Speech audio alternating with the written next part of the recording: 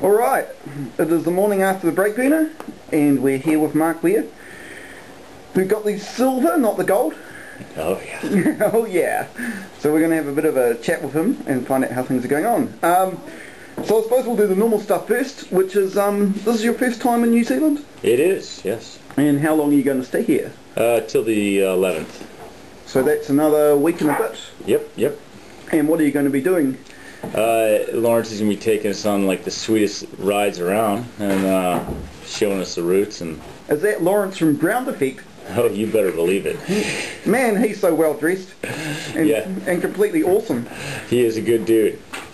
So uh, what rides have you done so far apart from the brake burner? Uh, we did, uh, what is that, Anaconda over uh, in your neck of the woods, right? Yep. And then uh, we did Mount Mount Hook or Mount, Mount- Hutt. Mount Hutt. That was super fun. Yeah. good rooty stuff, a lot different than we have in the states. It's not like uh, really really tight and technical, and it was interesting. We always like to get schooled by the locals on the first day. And uh, and which of the riders was standing out? uh, well, Lawrence was just schooling us with his low pressure scene, just going down the thing straight on the wet roots, and it was it was pretty impressive.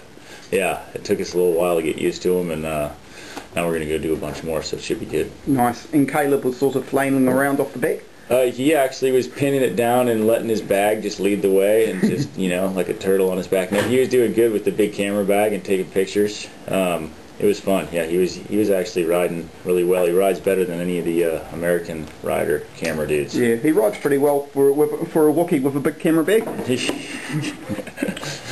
So um, yeah, yesterday, how did you find the course? Uh, I like the course. It's quite a quite a bit of climbing. Uh, not bad though. I mean, considering uh, how much descending there was, you know, uh, it was interesting how uh, Jeff said I'd get second, and uh, I was stoked that he even thought I could get second. it was impressive. Um, but yeah, it was. It started out good. We just kept battling, and the the course just makes you want to go faster every lap. And the first lap was our first time down, so we were just getting kind of used to getting settled in. My teammate Giro and I, and uh, after a while, about four hours in, started getting a little worked over. I think I might have run the you know wrong bike a little too uh, portly, but uh, So so what would have what would you have run if you'd seen the course before? uh, I probably would have ran like a Blur LT with with a little bit lighter tires. I mean, instead of the VP free with downhill tires, it's just a little aggressive. Um, it wasn't super necessary to have that much suspension, um, it- although it was fun. You know, it's just getting up those steep climbs it slowly just chops away at your carcass and Yeah. kind of Oh, hurts you a bit. Didn't realise you were on a beat. That would have been close to 40 pounds. Yeah, it's, 38. it's like 30, it's probably 34, 35, it's like 35. Well, the that's downhill light. tires. Yeah, fairly light. I mean, it's got light stuff on it. Have a single ring, a 36 tooth ring, and then just real heavy downhill tires and wheels, which, you know, if you change those out, it makes a big difference on how the bike handles. Yeah. But I didn't know what to expect, so I just brought the bike that would be the most fun for the whole trip. nice. And um, you and Jeff were sort of dueling it out for Yeah. uh, most of the race. Yeah, he uh, he's funny. He's he's he's loose, boy. He's loose. He's fast and he's real loose. But uh, he makes it happen every time, sideways, you know, backwards, whatever it is. But uh, yeah, we rode the chair a bunch together, and he's a good dude, and he goes real fast, and it was fun riding the whole time. We probably rode the chairlift 12 times together. So Nice. He didn't get the to like push him off or no, no, no, we drop were his bike. we were helping each other out. You know, it's he, he crashed a couple times in front of me, and I just wait for him to get back up and have him go in front. It was fun watching him. You know, so he the, whole thing was it was good. The first after the first lap though, he did a little sneaky thing. I was getting to the chair. I was in front of him. I started pinning it up the one climb to the chair, and all of a sudden he comes up, and we're I'm oh okay, we'll ride together, and he zooms in front of me and jumps on the chair with another rider and puts a chair gap on me. And I was like, oh, a little sneaker. So it was, it was pretty interesting. Then we started doing it back and forth. I put a couple chairs on him and kept going. And then he finally uh, put the nail in the coffin, started pulling away. So uh, what broke you? I, I, I just started cramping. I, I don't, I haven't been riding. It's been winter where we're at, so I haven't really been training. I'm like a lot heavier than I usually am right now, but just doing six hour rides, I haven't done any of those in, you know, three months. I've been just doing like hour and a half, two hour rides and probably drinking too much. So I'm not in the best shape of, of my uh, year. So it just cracked me. Probably just keep on doing the hard efforts, sustained hard efforts. Just just broke my legs and made me cramp. So I was one-legged pedaling sometimes just to work Oh. out the cramps. But yeah, so So, well, you, I, I mean, seeing you out there, you were doing pretty well if you were in that much, that much of a state. Have you done races like that before? Uh, nothing quite like that. I mean, we do some races, uh, the FMF Enduro Series in France, um, which is a 10 race series in a weekend. So 10, diff- 10 races, three different courses, no practice, three times on each course. But they're not like uh, sustained six hours. This is this is cool because it's like a you know 24 hour race or a 12 hour race without the lame part. You know, which Yeah. is like you know just doing the rabbit laps. You Yeah. get the chairlift, you get to talk a little. It's kind of more uh, community, which is cool, and you get to just straight pin it, and uh, it's a fair bit more dangerous than a 24-hour race, that's for sure.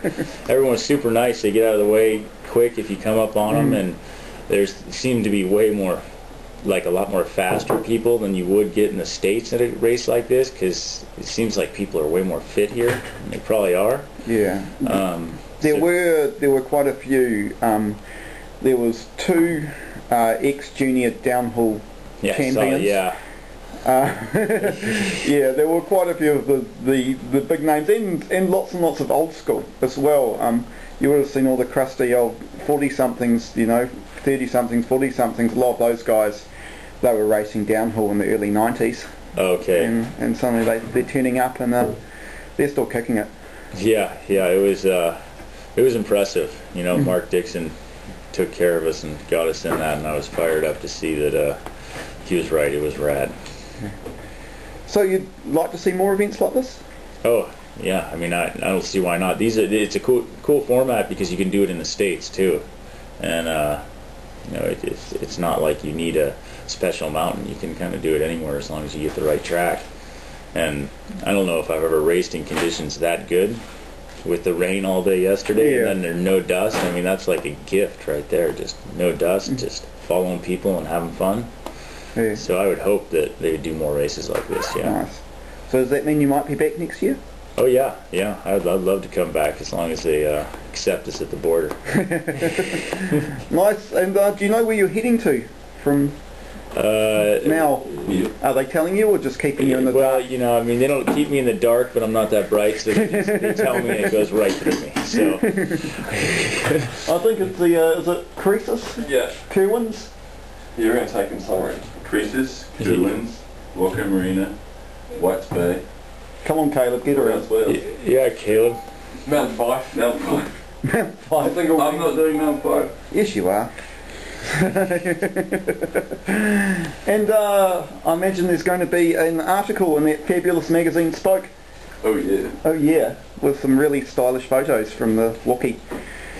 We, we might get some without uh, Larry. someone dabbing in the background. The best photo so far. Best photo so so far. far ever. Lawrence ruins it. Cool. Um, well, I suppose we should we should uh, knock that on the head because this is the web and we can only fit about Yeah. so much on there. So, is there? Do you want to give props to your sponsors? Props to anyone here? Uh, Mark Dixon, he he made it all happen for us. The guy's awesome. He uh, took care of the whole trip, and you know I thank him a ton. And these guys that are with us, Caleb and Lawrence, are, are awesome, and all my sponsors are great too. But these guys are better. For, I mean, they, they're going out of their way for us, and it's impressive. And you know I'm I'm stoked to be here. Nice. And Jeff for keeping you honest yesterday. Yeah, yeah. Well, he definitely did that. The guy was just chopping wood out there, and I was the I was the wood. nice. Big fuck. Thank you.